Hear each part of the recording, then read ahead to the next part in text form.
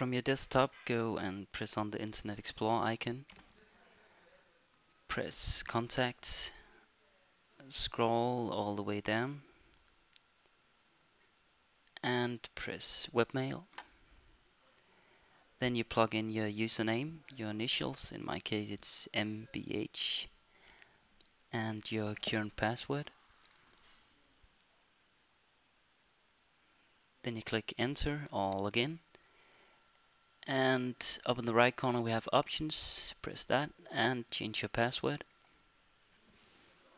And your current password.